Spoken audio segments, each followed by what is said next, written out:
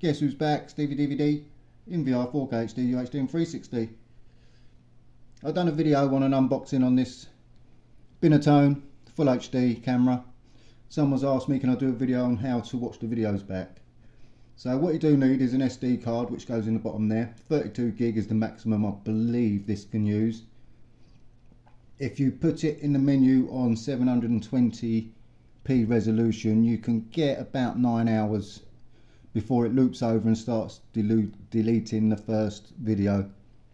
Because it does have loop record continuous recording. Also you plug it into the 12 volt cigarette lighter in your car and you can have it to parking mode where it's got a G sensor in it and if it gets a knock it'll start recording.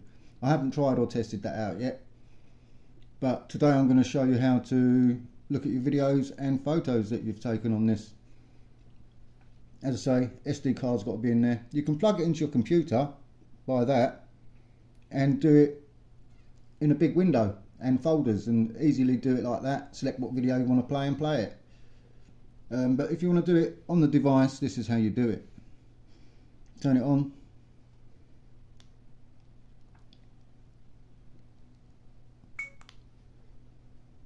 Okay it's on and it's recording. I've got mine set to record as soon as I turn the ignition on this starts recording. So as soon as it turns on it starts recording. Now just got to stop it recording by pressing OK.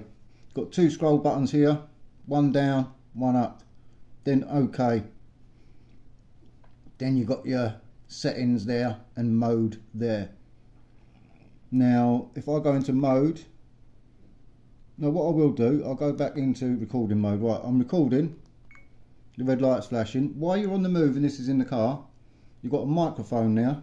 You can mute it or unmute it just by quick tapping this end scroll button. So when you're on the move, you're having a conversation you don't want anyone maybe to listen to, you can just mute it like that. Also, if you're going along and they're saying, you think, oh, this is another good point. If something happens while you're going along, I've got the timestamp all set and the date if you're going along and something happens and you try and remember what time it happened to look back later at your footage, you can always just press this button here and it'll take a photo. And in that photo, I'll have the timestamp. So you can look at your photo and you go, oh yeah, it was that time and it was there. And you can look back later for your file or your recording. Okay, so that's recording right. To play your videos back and look at your videos, you've got to stop recording. You stop recording. No, I'm recording now.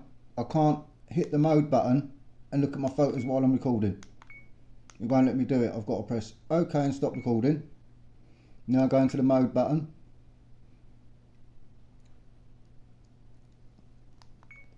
Scroll, press OK and it'll play my video. Press OK again to stop it. Scroll to the next videos and just play away. Oh, stationary there by looks of things. No, I am moving again. Okay, this is night mode. I'm playing it on my PC. It's at 720 and there is literally no street lighting at all. And it is raining hard, so this is extreme.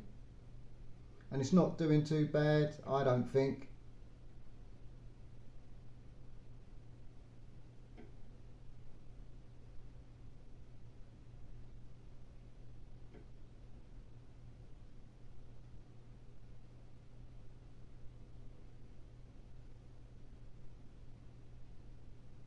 That is the only night footage I've got I'm afraid at the moment. So I thought I'd share that with you